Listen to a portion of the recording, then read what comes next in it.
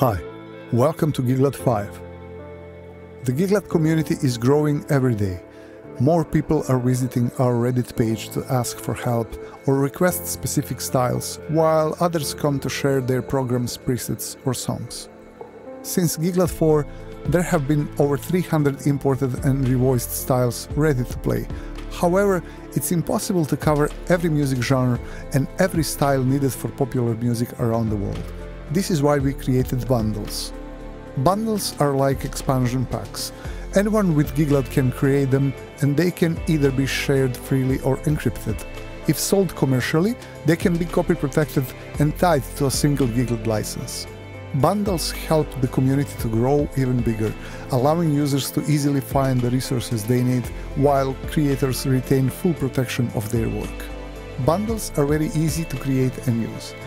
Just go to File menu, choose Bundles, then Create. To include styles, just drag and drop here.